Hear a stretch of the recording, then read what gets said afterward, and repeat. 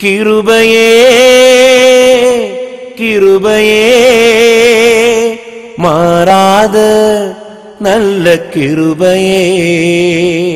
உங்க கிருபைதான் என்னை தாங்குகின்றது. உங்க கிருபைதான் என்னை நடத்துகின்றது. உங்க கிருபைதான் என்னை தாங்குகின்றது.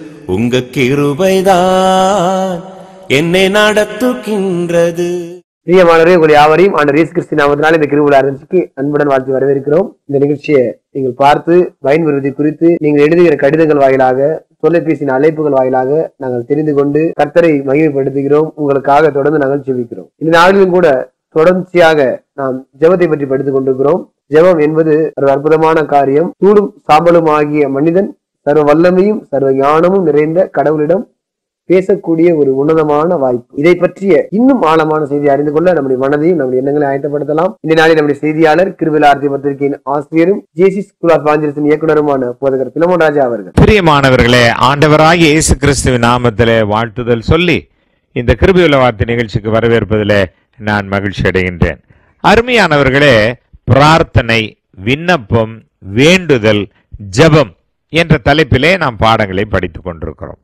கடந்த முறை ஜெபம் செய்ய எங்களுக்கு கற்றுத்தாரும் என்று கிறிஸ்துவின் சீடர்கள் அவரிடத்தில் கேட்டார்கள். அப்படி என்றால் இயேசு அடிக்கடி ஜெபம் செய்ததை அவர்கள் பார்த்திருக்கிறார்கள் என்றும் அதன் நிமித்தமே அவரிடத்தில் கேட்டார்கள் என்றும் நம்மாலே புரிந்து கொள்ள முடிகிறது. ஜெபம் பண்ண போதியும்னு சொன்ன உடனே இயேசு சொல்லிக் கொடுக்க ஆரம்பிக்கின்றார்.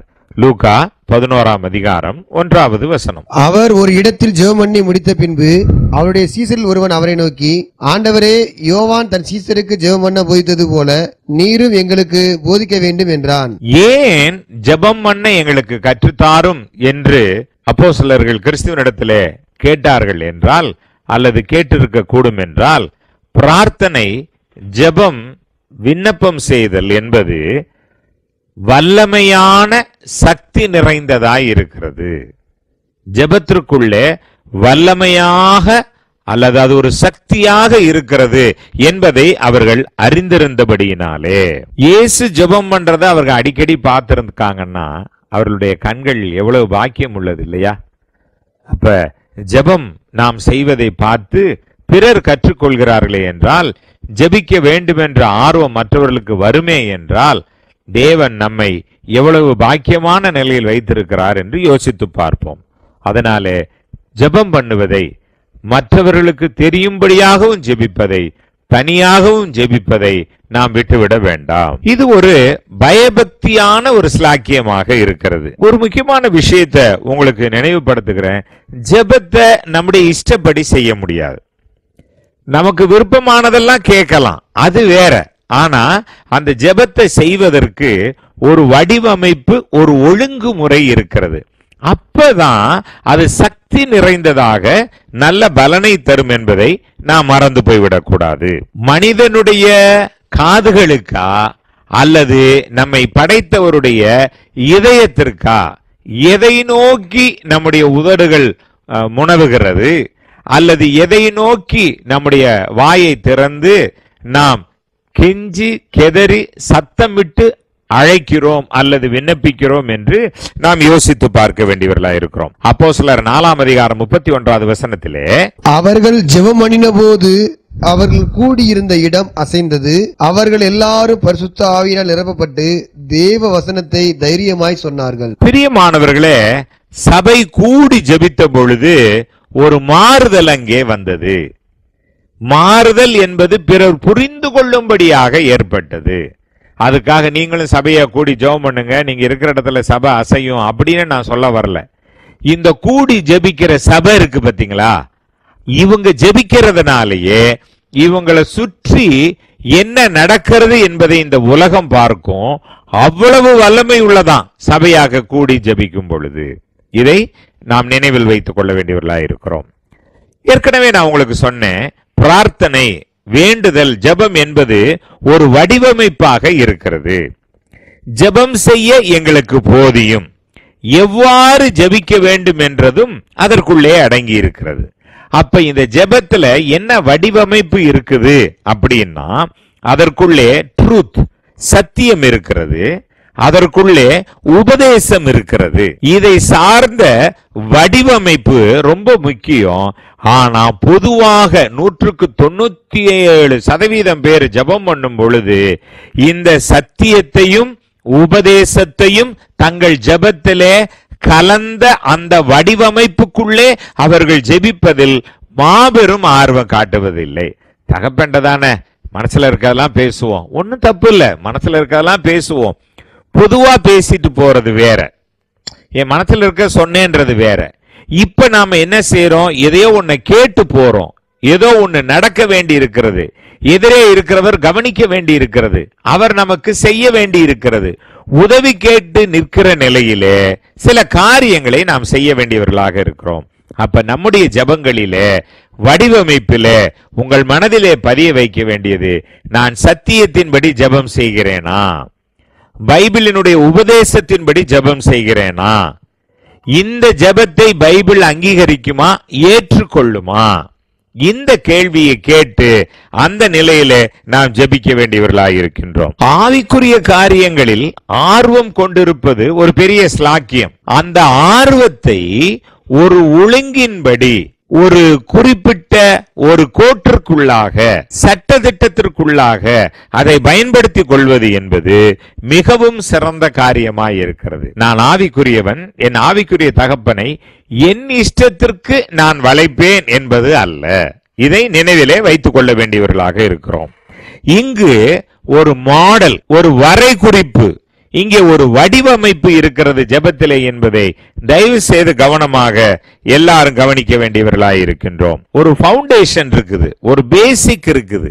அதனுடன் நம்முடைய ஜெபம் துவங்க வேண்டும். ஒரு சின்ன உதாரணம் சொல்லுகிறேன். ஒருவர் கால்பந்து விளையாட ஆசைப்படுகிறார். அவர் தெரிஞ்ச அளவு கால்பந்து நல்லா விளையாடுறார். அப்ப அவர் ஒரு போட்டிக்கு போறதுக்காக முயற்சி பண்றப்ப அவருக்கு பயிற்சியாளர் என்ற ஒருவரை தேடி செல்கிறார். அவர் சொல்லி கொடுக்கிறார் இந்தந்த முறையின்படி தான் நீ ஆடணும். அதாவது விளையாடுறதுக்கு டெக்னிக் கத்துக்கிறது வேற. அதாவது நுணுக்கம் கத்துக்கிறது வேற. இங்க நான் வந்து நுணுக்கமா ஜெபம் பண்ணுங்கன்னு நான் சொல்ல வரல. வடிவமைப்பு என்பது எப்பா இத்தனை நிமிஷம் தான் இதை மீறி நீ அடிக்க கூடாது இந்த ஏரியாவுக்கு நீ போயிடக்கூடாது இந்த இடத்துல இருந்து தான் நீ செய்யணும்னு சட்ட திட்டங்களை கத்துக்கொண்டு அவன் விளையாடும் பொழுது அதை அதிகமாக தெரிந்து கொண்டு அதை பயிற்சி செய்யும் பொழுது அவருடைய வெற்றி செல்லுபடியான வெற்றியாகும். நிறைய நேரத்தில் நம்முடைய ஜெபங்கள் வெற்றி பெற்று வருகிறது. ஆனால் பலன் வந்து சேருவதில்லை. பொதுவாக இந்த மாதிரி சொல்லுவாங்க. ஒரு நகைச்சுவைக்கு இப்படி சொல்லுவாங்க. ஆப்ரேஷன் சக்சஸ் ஆனா பேஷண்ட் அப்படின்னுவாங்க. அந்த மாதிரி நம்முடைய நிறைய ஜெபங்கள் சக்சஸ் ஆனா தேவனிடத்தில் போய் சேர்ந்ததா அப்படின்னா கூரையை கூட தாண்டி போகல ஜெபம்ன்றது ரொம்ப நாள் கழிச்சுதான் நாம தெரிந்து கொள்கிறோம். ஒருவருக்கு பாட்டு பாட தெரிகிறது. நான் நன்றாக பாடி போட்டிகளிலே ஜெயிக்க வேணும் அப்படின்ன உடனே அந்த பாட்டு பயிற்சி செய்கிறார். அந்த ஸ்வரங்களுக்கு அந்த சத்தங்களின் வேறுபாட்டுக்கு ஏற்ற மாதிரி தன் குரல் வலையிலே அவர் எழுப்புகின்ற அந்த ஒளிய அதுக்கு ஏத்த மாதிரி மாத்திக்கணும். நீ என்ன சொன்ன? வாங்கன்னு உன் பாட்டில் இருந்துருச்சா? இல்லை வேற மாதிரி சொன்னியா அப்படின்னு நம்மளை கேட்பாங்க. அப்போ உச்சரிப்பை கவனிக்கிறாங்க. அதனுடைய உயர்வு தாழ்வை கவனிக்கிறாங்க. அது எந்த இடத்துல அழுத்தம் கொடுக்கணும் அப்படின்னு கவனிக்கிறாங்க. நான் பாடுறது சரியா அர்த்தம் போய் வெளியே கேட்குதா அப்படின்னு கவனிக்கிறாங்க. ஆனபடியினால நன்றாக கவனியுங்கள். வேதாகம சத்தியத்தின்படி உபதேசத்தின் கோட்பாடின்படி நம்முடைய ஜெபமானது வடிவமைக்கப்பட வேண்டும் என்று கிறிஸ்து சொல்லிக் கொடுத்திருக்கிறார். நாம் மறந்து போய்விடக்கூடாது. நாம் ஜெபம் என்ற வடிவமைப்பிலே அதற்குள்ளே இருக்கிற சக்தியை சரியாக புரிந்து கொண்டால் அதை சரியாக எடுத்து பயன்படுத்தலாம். உடம்பை வலுவாக்கணும் அப்படின்னு சொல்லி ஒருத்தர் முயற்சி பண்றார். ஒரே நாளில் நாலு கிலோமீட்டர் நடக்கிறார். ஒரே நாளில் நாலு கிலோமீட்டர் ஓடுறார். அவ்வளவுதான். காலை ஒரு பத்து நாளைக்கு ஒன்றுமே செய்ய முடியாது. ஓட்ட பயிற்சி நல்லது. நடைபயிற்சி நல்லது.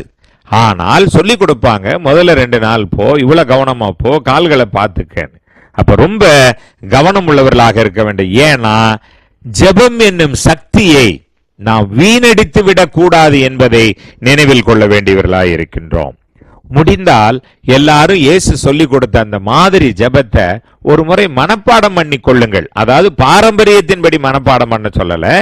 பைபிள்ல எப்படி இயேசு ஜெபம் பண்ணாரோ அதை மனப்பாடம் பண்ணுங்க. நம்ம பிள்ளைகளையும் மனப்பாடம் பண்ண சொல்லி உற்சாகப்படுத்துங்க. அது தெரிந்து வைத்துக் கொள்ளணும். ஏன்னா என்னெல்லாம் ஜெபிக்கணும்ன்ற அந்த வடிவமைப்பினுடைய முறைகள் ஒரு சின்ன குறிப்புகள் அங்கே இருக்கிறது. அதுக்கு அதையே திருப்பி திருப்பி சொல்லுங்க அப்படின்னு நான் சொல்லல. அதை கொஞ்சம் கவனமாக கவனித்துக் கொள்ளும். மனிதராகிய நாம் எல்லாருமே யாரையாவது பார்த்து தான் எதையாவது செய்வோம். அப்ப நமக்கு ஒரு மாடல் இல்லாம போனதுனால தான் அவங்க ஜெபம் பண்ற மாதிரி இவங்க ஜெபம் பண்ற மாதிரி அவங்க கும்பிடுற மாதிரி இவங்க கும்பிடுற மாதிரி நம்ம செய்ய ஆரம்பிச்சிடுறோம். ஆனால் கிறிஸ்துவனிடத்திலே போய்விட்டால் நாம் பாதுகாப்பாக காரியங்களை செய்யலாம். அடுத்தது இரண்டாவது குறிப்பு இந்த ஜெபத்திலே விடாமுயற்சியாக இருப்பதற்கு பெயர் தான் ஜெபம். ஒரு முறை ஜெபம் பண்ணிட்டேன் திருப்பி கேட்க வேண்டாம். சரி உங்க இஷ்டம். ஆனால் நாம் உண்மையிலே கேட்பது உறுதியானால் அதை விடாமுயற்சியுடனே கேட்பதற்கு பெயர் ஜெபம் என்பதை மறந்து போய்விட வேண்டாம். சரி கொஞ்சம் அவசரமா கவனிங்க ஒரு முக்கியமான விஷயம். விடாமுயற்சின்ற நான் வார்த்தை தான் சொன்னேனே ஒழிய போராடி கேளுங்கன்னு சொல்லலை. ஸோ போராடி கேட்கறது வேற விடாமுயற்சியா கேட்கிறது வேற. அந்த அம்மா போனா பார்த்தீங்களா தினசரி போய் கேட்டாள். நீ எனக்கு கொடுத்தால்தான் அப்படின்னு ஆண்டவர்கிட்ட என்ன செய்யக்கூடாது? போராட கூடாது. கடவுள் ஏன் நீங்க ஜெபம் பண்றப்போ உங்களை கவனிக்கணும்? ஒரு கேள்வி கேட்டுங்களேன். நான் ஜெபம் பண்ணா அவர் ஏன் என்னுடைய ஜெபத்தை கேட்கணும் அப்படின்னு நாம யோசித்து பார்ப்போமே. ஜெபம் என்பது ஒரு சிந்தனை ஒரு பகுத்தறிவு சார்ந்தது. கண்மூடித்தனமாக செய்யக்கூடிய ஒரு விஷயம் அல்ல. விளங்காம புரியாமல் செய்வது அல்ல. பொதுவாகவே யார் ஜெபம் பண்ணாலும் நம்ம தாய்மொழியில் ஜெபம் பண்ணுறப்ப நம் மனது தேவனோட ஈடுபடும். சில மொழிகள்லாம் நமக்கு தெரியும். அப்படி ஜெபம் பண்ணுறதை விட நம் தாய்மொழியில் ஜெபம் பண்ணும் பொழுது அவரிடத்துல அப்போ அர்த்தமே இல்லாமல் சத்தத்தை எழுப்பி ஜெபித்தால் அது என்னவாக இருக்கும்? அப்ப புரிந்து கொள்ள வேண்டும் ஜெபம் என்பது ஒரு சிந்தித்தலாக இருக்கிறது. ஜெபம் என்பது கமிட்டட் ஆர் சரண்டட் ஒப்பு கொடுத்தலாக இருக்கிறது. சரியா? எனக்கு இதெல்லாம் செய்யுங்க. ரைட்டு நான் இப்படியெல்லாம் உம்முடைய விருப்பத்தின்படி நடக்கிறேன். நீங்க சொன்னபடி நான் நடக்கிறேன். உமக்கு கீழ்ப்படிந்து நடக்கிறேன். என் கண்ணை இப்படி வைத்துக் கொள்கிறேன். என் கால்களை இப்படி வைத்துக் கொள்கிறேன். என் வயிற்றின் உணவை நான் இப்படி வைத்துக் கொள்கிறேன். என் சிந்தனையின் முறையை நான் இப்படி வைத்துக் கொள்கிறேன் என்று ஜபிக்க போகிறவன் விடாமுயற்சியோட ஜபிக்கிற ஒரு நபர் ஒப்பு கொடுத்து ஜபிப்பது அதற்கு பிற்பாடு ஜப விண்ணப்பத்தை வைப்பது சால சிறந்த வெற்றியை நமக்கு கொண்டு வந்து கொடுக்கும். ஜெபம் என்பது கேட்க தேட ஆறுதல் பெற நாம் செய்வதாக இருக்கிறது. சாதாரணமாக நினைத்து விட வேண்டாம். தொடர்ந்து கேட்பதாகவும் தொடர்ந்து தேடுவதாகவும் இருக்கிறது. அதான் இடைவிடாமல் ஜெபியுங்கள்னாரு திரும்பி திரும்பி போய் ஜெபிங்கன்னாரு அர்த்தம் இல்லாமல் சொல்வது. ஒரு சின்ன உதாரணம் சொல்றேன் தப்பா எடுத்துக்காதீங்க. சில இடத்துல ஜெபம் பண்ண ஆரம்பிச்ச உடனே ஒருவர் ஜெபத்தில் வழி நடத்துவார். அந்த இடத்துல கூடியிருக்க எல்லாரும் அந்த ஜெபத்தில் சேருவாங்க. அது என்ன முறை அப்படின்னு எனக்கு தெரியல. சரி யோசிச்சு பாருங்க. எப்படி சேருவாங்கன்னா அவர் ஒரு காரியத்தை சொல்லி ஜெபம் பண்ணுவார். இருக்கிற எல்லாருமே நன்றி நன்றி நன்றி ஸ்தோத்திரம் ஸ்தோத்திரம் அப்படின்னுவாங்க. அப்படின்னா என்ன அர்த்தம்? அவர் ஜெபம் பண்றத நாம கேட்க விரும்பலையா? அப்போ ஒருவர் ஜெபம் பண்றத நாம கவனிக்கல அப்படின்னா அவர் ஜெபத்துக்கு நாம எப்படி ஆமேன்னு சொல்ல முடியும்? அவர் நமக்காக விண்ணப்பிக்கிறதுக்கு எப்படி தேவன் நமக்கு பதில் கொடுப்பார்? தோத்தரை சொல்ல வேணான்னு சொல்லல நன்றி சொல்ல வேணான்னு சொல்லல. கொஞ்சம் கவனமா கவனிங்க. அப்ப ரொம்ப கவனமாக விஷயங்களை நாம் செய்ய வேண்டியவர்களாக இருக்கின்றோம். கடவுள் ஒரு புட்டிக்குள் அடக்கி வைக்கப்பட்டிருக்கிற ஒரு பூதம் அல்ல. ஜபத்துல போய் அப்படி தேய்ச்ச உடனே அவர் வெளியே வந்து உனக்கு என்ன வேணும் கேள் இதோ கொடுத்து விடுகிறேன் அப்படின்னு சொல்வதல்ல. இது ஒரு உறவு முறை. இது ஒரு அறிவு சம்பந்தப்பட்டது. இது ஒரு அர்ப்பணிப்பு சம்பந்தப்பட்டது. இது ஒரு நெருக்கமானது. இரண்டு பகுதியிலும் எதிர்பார்ப்பு நிறைந்திருக்கிறது. மறந்து போய்விட வேண்டாம். ஜெபத்தில் நம்முடைய உதடுகளை அல்ல நம்முடைய வாழ்க்கையே கொடுக்க வேண்டும் என்று ஜெபம் நம்மிடத்தில் சொல்லுகிறது. உள்ளத்தை கேட்கல ஜெபம்.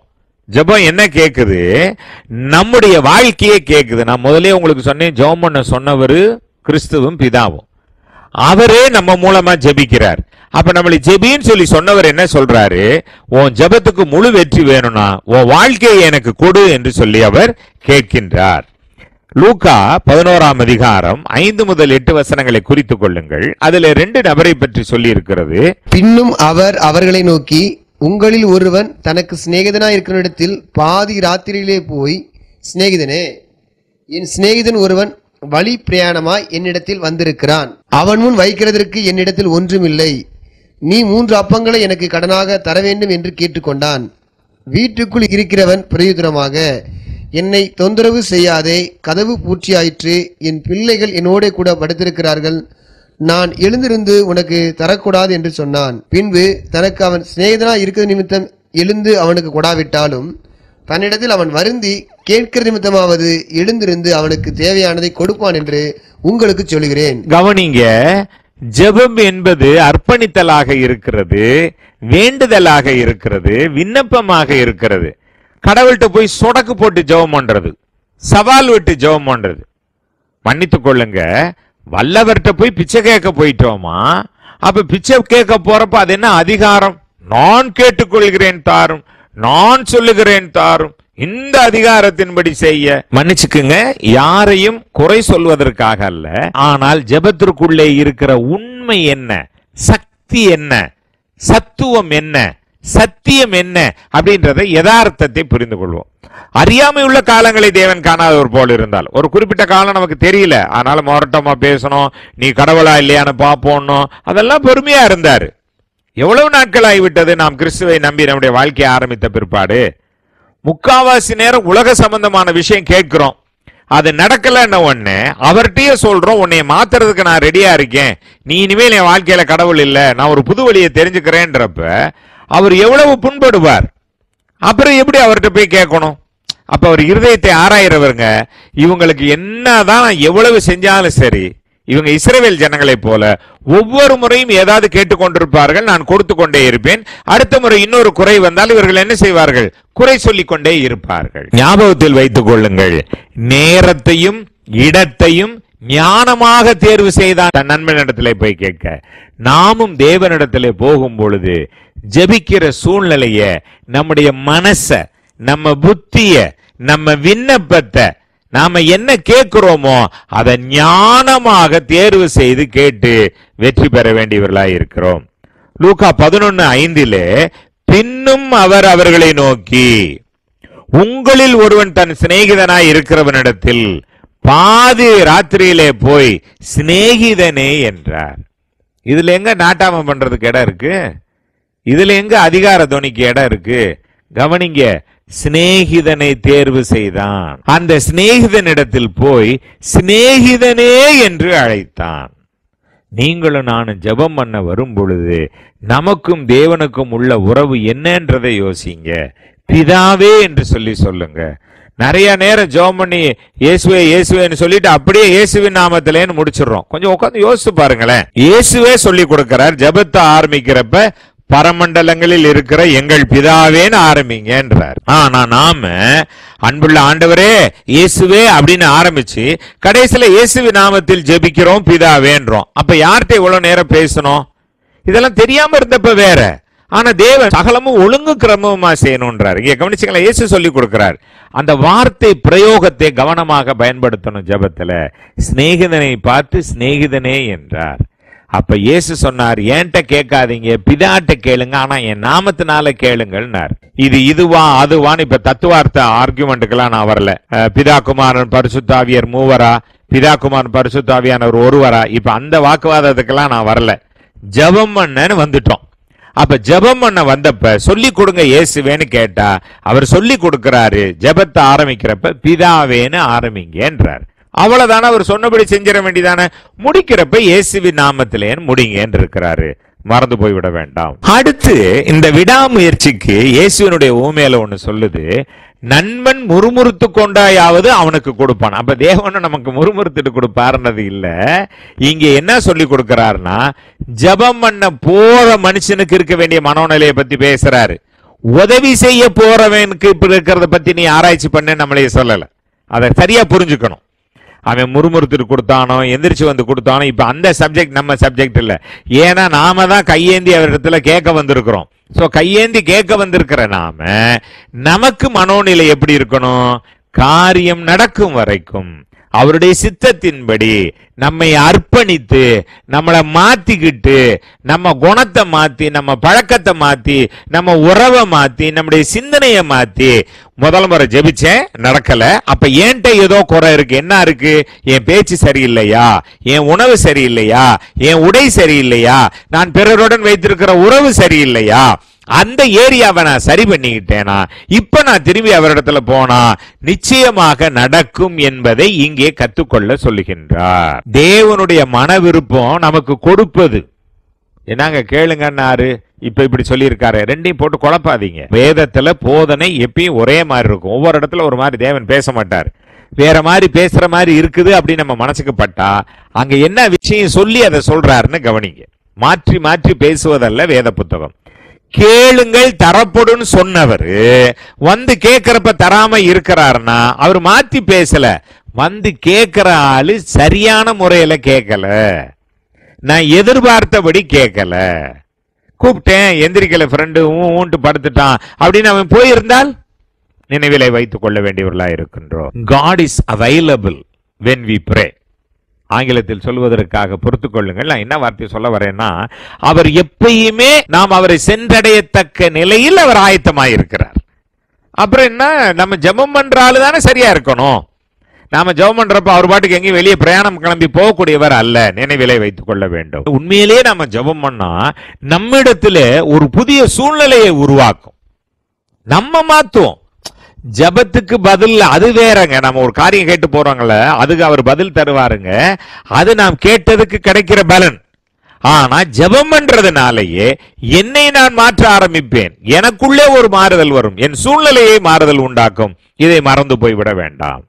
கடைசியாக பிரார்த்தனை ஜெபம் என்பது பெற்றுக்கொள்வதாக இருக்கிறது. அறுநூத்தி அறுபத்தி ஏழு ஜெபங்கள் வேதாகமத்தில் பதிவு செய்யப்பட்டிருக்கிறது. அதில் அறுநூற்றி ஐம்பத்தி நாலு பிரார்த்தனைகளுக்கு ஜெபங்களுக்கு பதில் கிடைத்திருக்கிறது. பாருங்க நல்லா யோசித்து பாருங்க. ரொம்ப முக்கியமா கவனிக்க வேண்டியவர்களா இருக்கிறோம். வாக்கு தத்தங்களின் தேவனாக இருக்கிறார். புலம்பல் மூன்றாம் அதிகாரம் இருபத்தி மூன்றாவது வசனத்தில் அவைகள் காலைதோறும் புதியவைகள் உமது உண்மை பெரிதா இருக்கிறது. ரொம்ப எளிமைங்க. அவர் ஒன்னு சொன்னா செய்வாருங்க. கேளுங்கள் தரப்படும் தேடுங்கள் கண்டறிவீர்கள் தட்டுங்கள் திறக்கப்படும். அதுல அவர் எந்த மாறுதலும் செய்ய மாட்டார். ஆனா ஒரு பெரிய கேள்வி இருக்கு. ஏன்னா நம்மளுடைய பகுத்தறிவோட படைச்சிருக்கிறாரு பெரிய கேள்வி. நிறைய விஷயம் நடக்கலையே. என்னுடைய விண்ணப்பம் எல்லாம் அப்படியே பெண்டிங்ல இருக்கே. ஒன்றும் இல்லை. வடிவமைப்புடன் ஜெபியுங்கள். விடாமுயற்சியுடன் ஜெபியுங்கள்.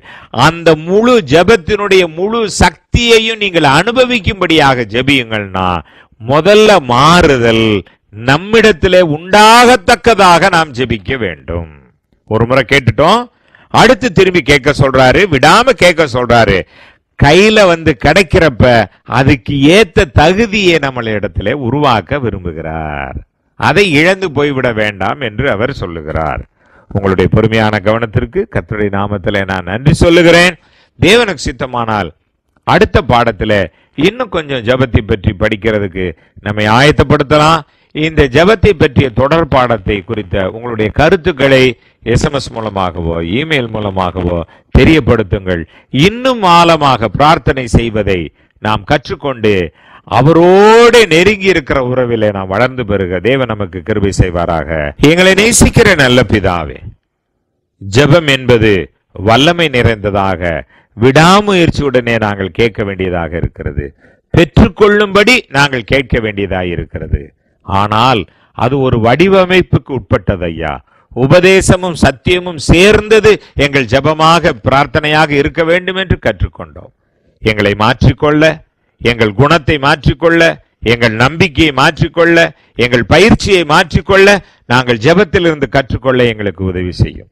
எங்கள் ஜெபங்களுக்கெல்லாம் ஆம் என்றும் ஆமேன் என்றும் உம்முடைய வாக்கு தத்துவத்தின்படி எப்பொழுதுமே பதில் கொடுத்தீர் கொடுக்கிறீர் கொடுக்க போகிறீர் என்று விசுவாசத்துடனே இயேசு கிறிஸ்துவின் நாமத்தினாலே நன்றி சொல்லி ஜெபிக்கிறோம். ஜீவனுள்ள நல்ல பிதாவே.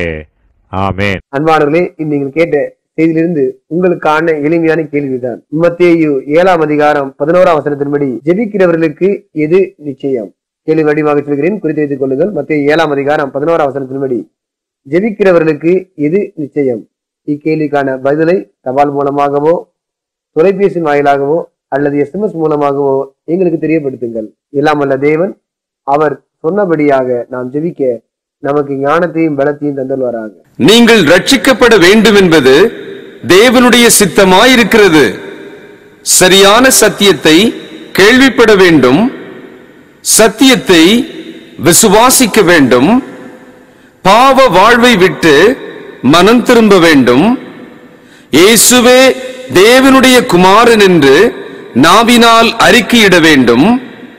பாவ மன்னிப்புக்கென்று ஞானஸ்நானம் பெற வேண்டும். ரட்சிக்கப்படுகிறவர்களை கர்த்தர் அனுதினமும் சபையிலே சேர்த்து கொண்டு வந்தார். அன்பு நேர்களே நீங்கள் மதுரையில் இருப்பவர்களானார் எங்களுடன் சபையில் சேர்ந்து ஆராதிக்க உங்களை அன்புடன் அழைக்கின்றோம். எங்களுடைய சபை ஆராதனை நேரங்கள் ஞாயிறு காலை ஒன்பது முப்பது மணிக்கும் மாலை ஆறு முப்பது மணிக்கும் மற்றும் வேத ஆராய்ச்சி புதன் மாலை ஆறு முப்பது மணிக்கும் நடைபெறுகிறது. நடைபெறும் இடம் ஏஜிபி ஹால் நாற்பத்தி ஐந்து சி பார் ஒன் காரனேஷன் தெரு அரசரடி மதுரை பதினாறு சபையில் கலந்து கொண்டு இறையாசி பெற்றுக்கொள்ள உங்கள் அனைவரையும் அன்புடன் அழைக்கின்றோம். தொடர்புக்கு ஒன்பது இரண்டு நான்கு நான்கு இரண்டு ஒன்று நான்கு நான்கு இரண்டு ஒன்று மற்றும் ஒன்பது இரண்டு நான்கு நான்கு மூன்று ஒன்று நான்கு நான்கு மூன்று ஒன்று கிருபையுள்ள வார்த்தை தபால் பெட்டி எண் பதினைந்து அரசரடி மதுரை ஆறு இரண்டு ஐந்து பூஜ்ஜியம் ஒன்று ஆறு Joy Creative Production. for video coverage and editing, audio recording and editing, promo for advertisement, graphic design. Contact 9042494996.